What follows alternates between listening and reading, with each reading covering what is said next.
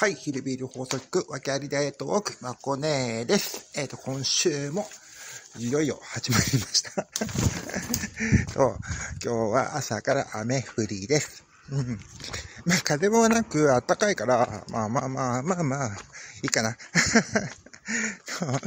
うん。まあ、空がもう明るくなってきて、多分ね、雲がなければ、結構明るいんじゃないかな、今日あたり。うん。まあ、そんなわけで、今日も歩きながらおしゃべりして、えっ、ー、と、片道30分、40分。最近はちょっとね、早くなって、35分、30分くらいで着いちゃうかな。まあ、そんなわけで、30分くらいのお話にお付き合いください。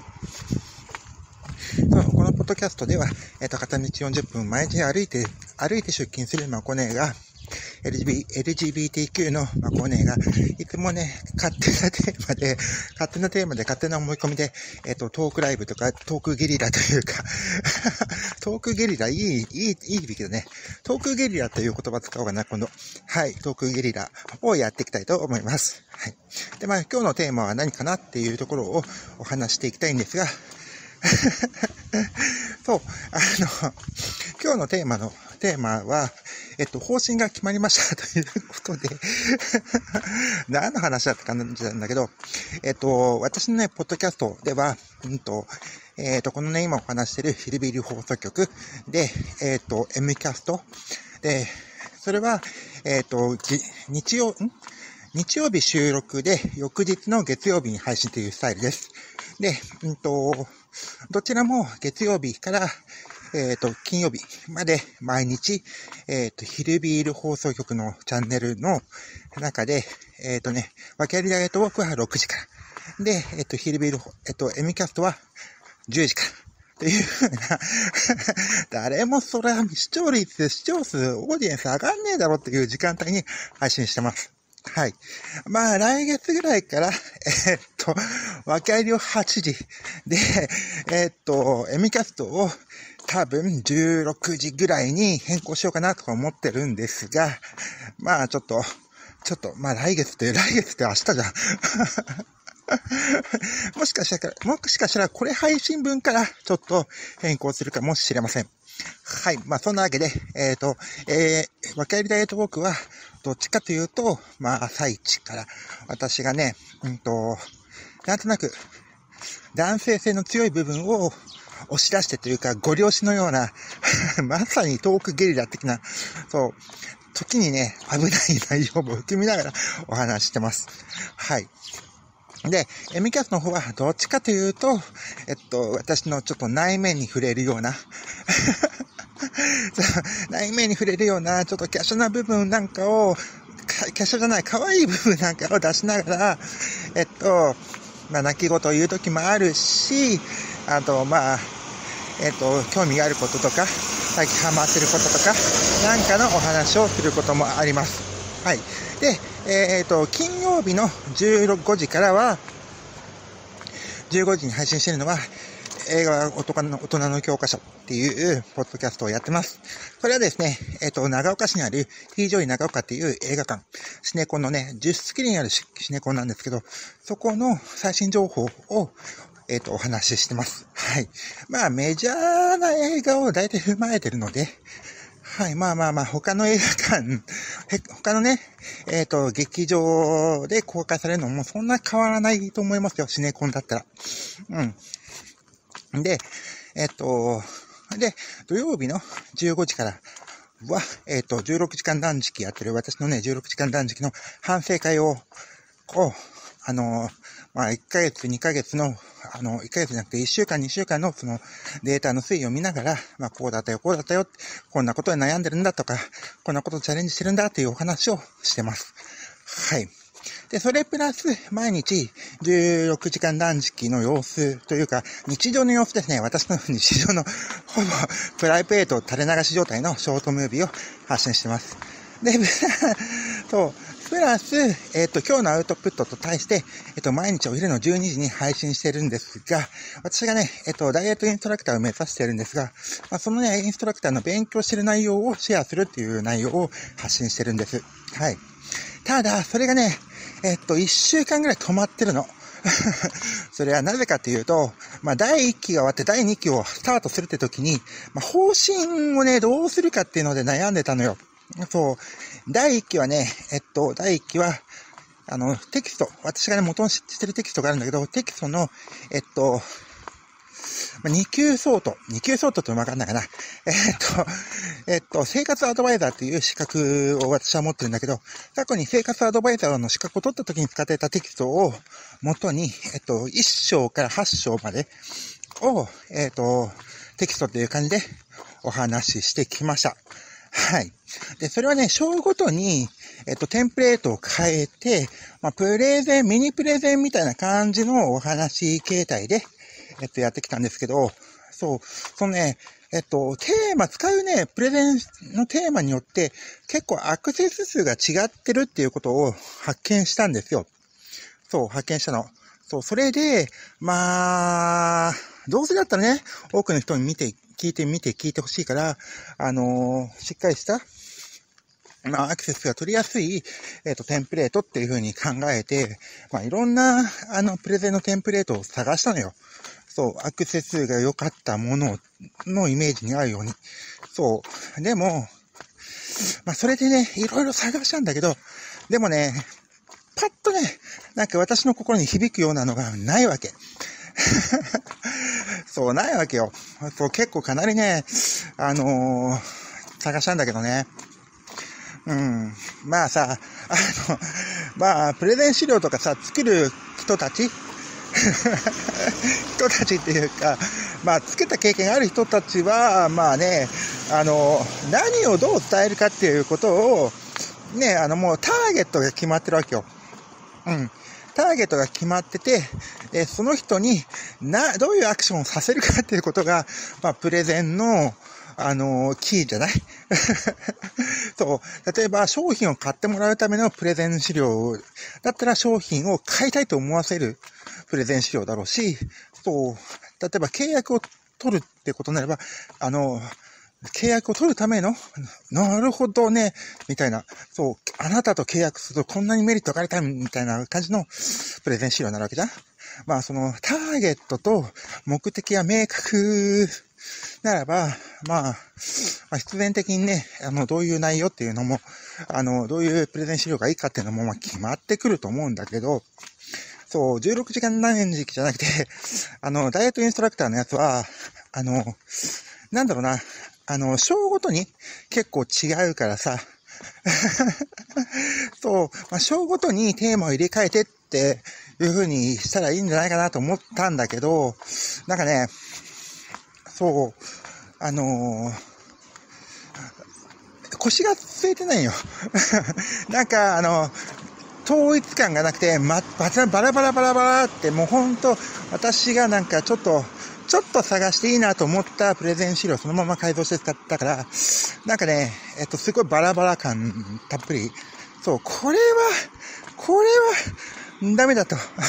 いどの会社でもそうでしょ？そう、どの会社でも、どの組織でもそうだけど、自分の組織のカラーってあって、自分の組織のカラーの一本筋が通ってる上で、いろんなバージョンがあっても、あっても、全然それはね、あのー、いいと思うんだけど、筋も何もなくて、そう、用意どんのその一本の筋がなく、突然、ほら、もう、バラバラバラと、そう、そうだな、えっと、例えが正しいかどうかわかんないけど、うんと、えっとね、えっと、えっと、カルタ。カルタ。うん。カルタさ、あの、やるときに、えっと、全部さ、列に綺麗に並べる人いるじゃない？だと思えば、まあ子供の頃なんか特にそうだと思うけど、ほんとバラバラに、とりあえず裏側、あの、全部並べてるっていうか、バラバラバラって、えっと、あの、あの、なってるだけ？っていう人よりだ。まあ、言ってしまえば、もう私のプレゼン資料は、もうみんなバラバラバラって並んでるだけで、並んでいなかったわけよ。そう。これは、あかんなと思って、あの、筋道をパッて、パッて、あの、貫いたような、あの、一直線の土台がないと、そう、あの、作る方も大変だし、見る方も大変だなって思って、あそれに関して、まあ、あの、一週間ぐらい、すごい悩んだのよ。そう、悩んだというか、まあ、それが、あの、見つからずに、それがすごいストレスで、まあ、16時間断食にもすごく影響出てるし、他の作業にもすごく影響出てるのね。うん。まあ、それで、あの、今日もね、あの、深夜お仕事行くまでの、まあ、1時間、2時間ずっとプレゼン資料を眺めながら、まあ、いろんなの、あの、触りながら、と、えっと、考えてたんだけど、まあ、結局ね、結局ね、私のカラー そう、私のカラーが、あの、まあ、ポッドキャスト全般にそうなんだけど、あの、うんと、なんだけど、M キャストとさ、あの、朝、M キャストとヒルビル放送局は、まあ、なんだかんだ言って、あのー、写真を使ってるわけ。うん。まあ、私らしい写真っていうのは、私はね、メインはストリートフォトグラファーなんで、まあ、ストリートフォトグラフィーと、あとはライフフォトなのね。そう、私のさ、ストリートフォトグラフィーもライフフォトグラフィーも、どちらもさ、まあ、あの、えっと、結構ニッチな写真なのよ。そう、まあ、結構本当、あの、好みが分かれるっていうか、そう、そういう写真で、うんと、人によっては嫌悪感すら感じるの。まあ、だからそのね、私の元々の写真に、あの、む、あの、マンプリしてっていうかもう100%振っちゃうと、まああの視聴者の人が、まあドン引きかもしんないなと思って、まああんまりあの、私らしくないじゃ私らしくない？まあでも、うんと、まあ写真だからね。まあまあ私らしくないけども、まあ、私が撮った写真をメインに、あの、サムネも構築してたり、作ってたりとかするんだけどね、するし、あの、ポッドキャストの音声流れてる間に、間は私のね、その写真がメインにバンって出ているという感じになってるの。うん。まあ、本当はね、過去のさ、写真をさ、日ごとに、あのまあ、パッパッパみたいな そう、えっと、なんて言うんだろう。あのえっと、そう、分、あの、1分に1枚ごと変わるぐらいに切り替えてやったらいいと思うんだけど、まあ、過去の写真にしても、なんだろう、そう、まあ、1年間分ぐらいは、1年間、1年、1、2年分ぐらいは、まあ、続けられるぐらいまあね、あるけど、そう、まあ、まあ、例えば、昨日撮った写真を全部並べる、もう できるよ。できる、できる、できる、できる。そう、できるけど、まあ、そこにかかるね、時間は、なかなか、ハードでさ、そうそうそう。まあ、そここそね、AI がしてくれればいいんだけど、そう、なんかね、うんと、写真のさ、まあ私のね、調整とかそういうのを、まあ自動でやってくれるような AI は、まだなくてさ、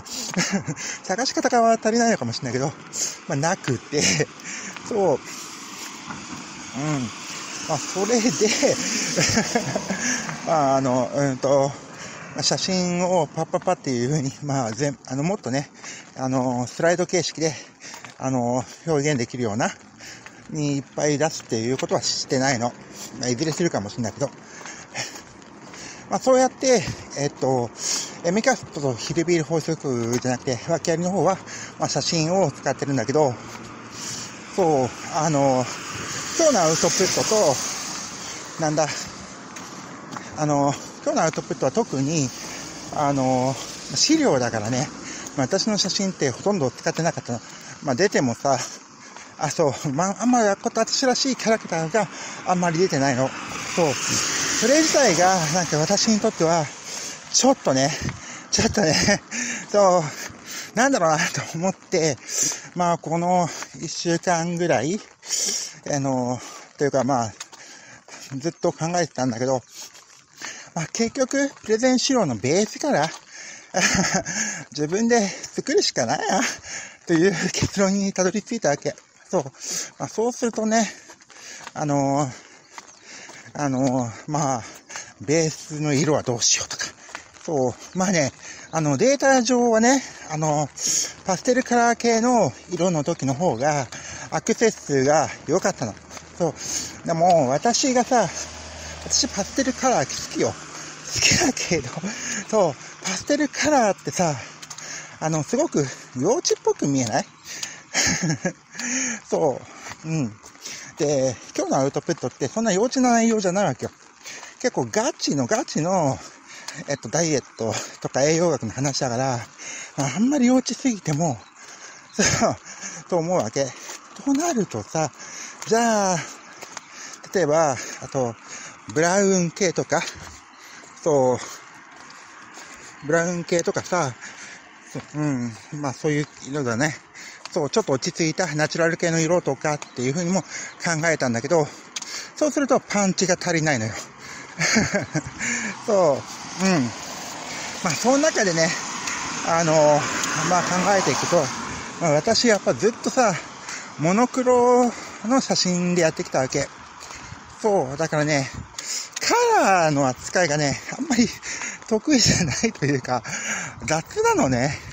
そう、うん、幼稚なの、なんかカラーの扱いが。そう、それで、まあね、そう、まあいろんなのも見てみたんだけどさ、うん、そう、まあそれで思い切って、えっと、白黒、モノクロをメインに主軸に捉えて、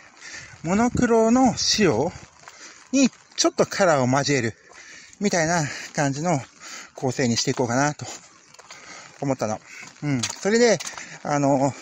まあ、私のさ、写真、今日のアウトプットの、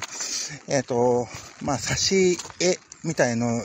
ではなくて、差し絵じゃなくて、差し写真にしようと思ってるの。そう、それも、私が、実は私が人に見せたくない黒歴史的な写真っていっぱいあって、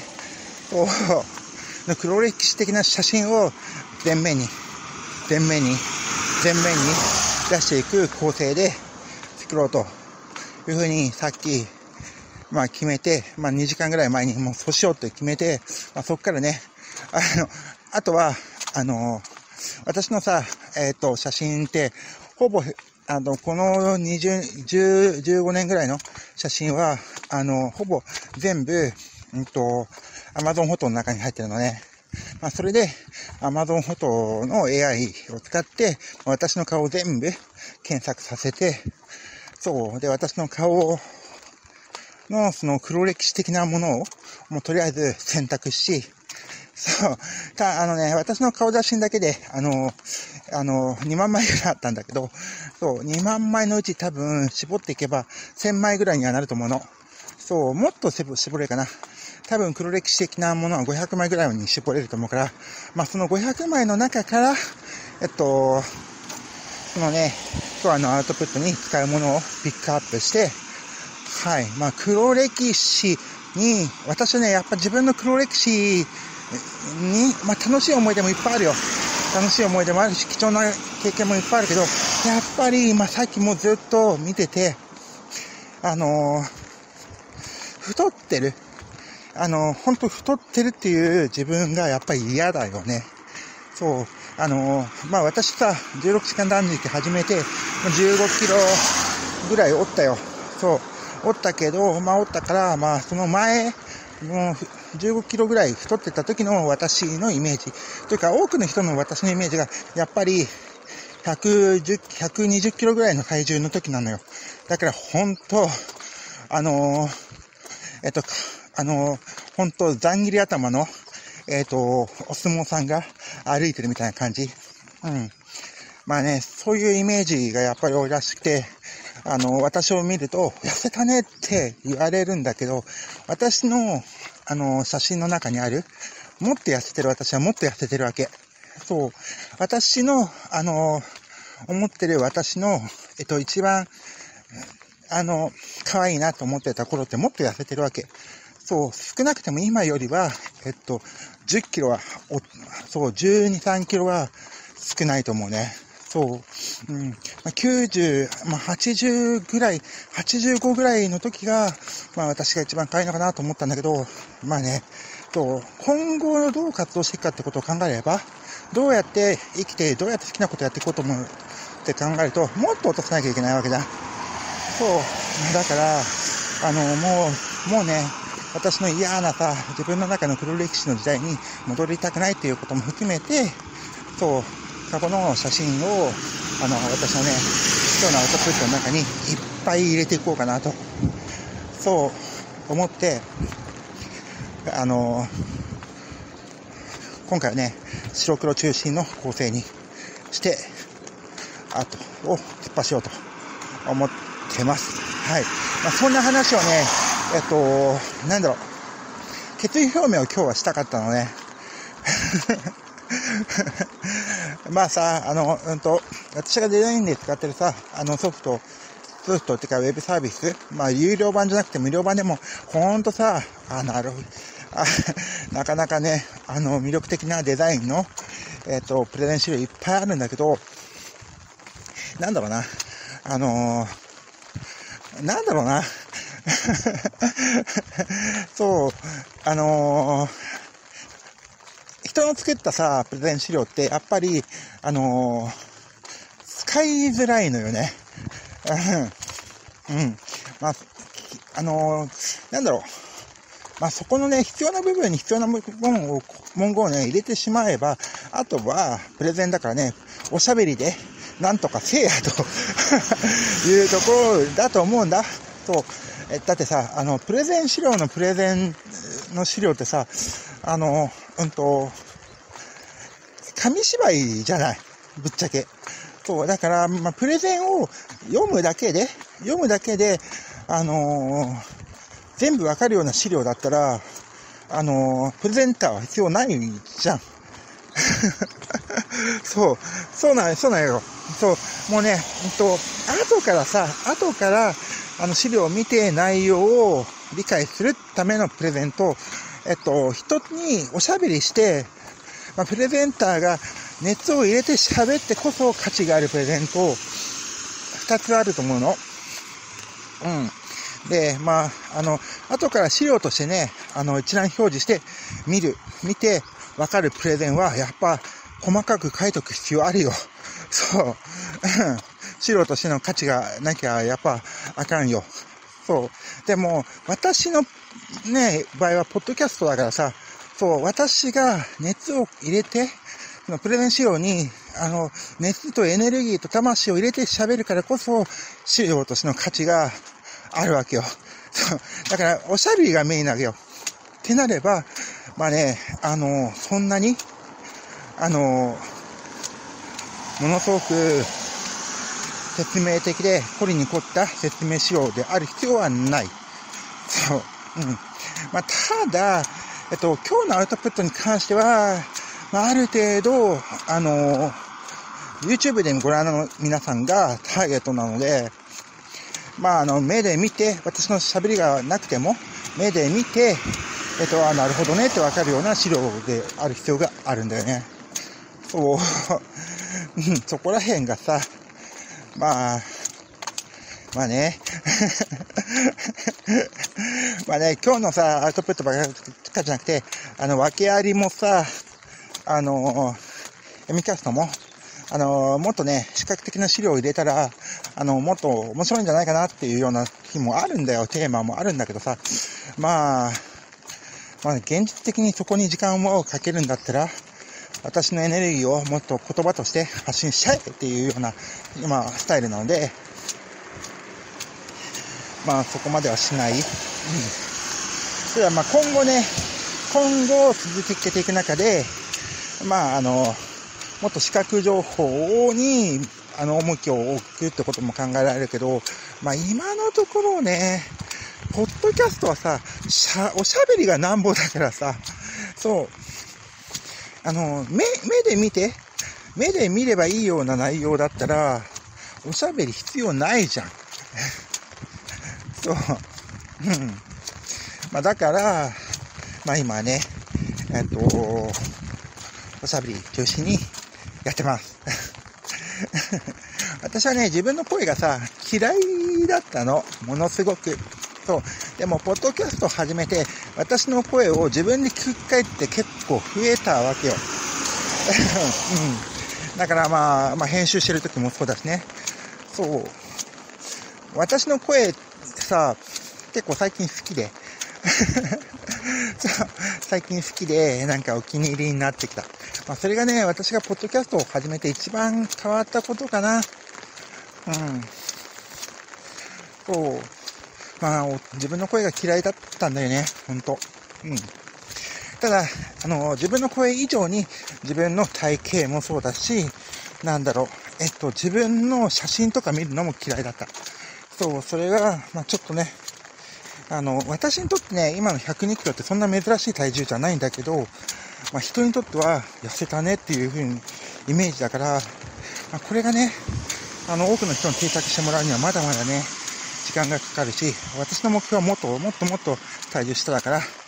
そう、うんと、今日からまたね、頑張って、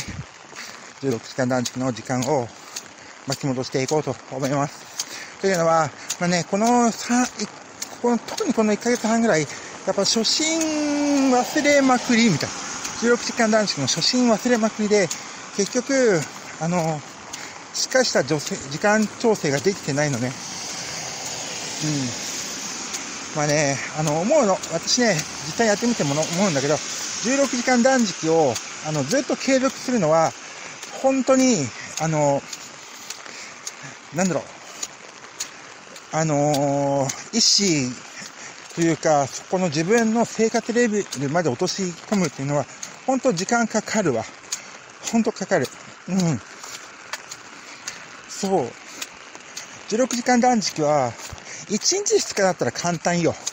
でも、それを1ヶ月、2ヶ月、何年って感じでやっていく。もしくはそれをずっとやっていくってことになれば、手軽だけどもすごく難しい。うん。そうね。そう。だからね、あの、16時間断食を使ってガチで体重を落とそうって人は、やっぱそれなりに、あの、しっかりサポートしてくれる体制があってこそできるんじゃないかな。もしくは、あの、一人暮らしか。家族と一緒に住んでたら、やっぱり難しいな、これは。一日二日はできるよ。いや、もう家族と一緒にいて、自分のその意思とモチベーションを保っていくっていうのはもう自分だけの計算じゃなくなっちゃうから、あやっぱね、それは難しいなって最近特に感じてるわ。ちょっと写真撮影。まあ、そんなわけで今日は結構ね、ダラダラっと、あの、私が、ここね、最近悩んでた今日のアウトプットの方針について、まあ、お話ししてきたんだけど、そう、まだね、今日はちょっと 早々出てきたせいか、雨が降ってるせいか、ゆっくり歩いてたせいか、ちょっとおしゃべりする時間があるので、ここで改めて、改めてね、えっと、なぜ16時間ダイエットっていうのを、もう一回、もう一回、て か何度目だよって思うけど、お話したいと思います。はい。私はですね、あの嫌なの。そう、何が嫌だって、なんだろう。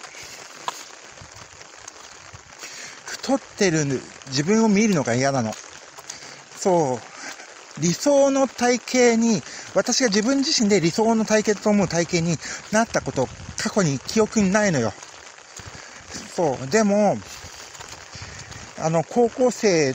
ていうか、まあ中学生ぐらいは、まあ80、75ぐらいの体重だったと思うんだよね。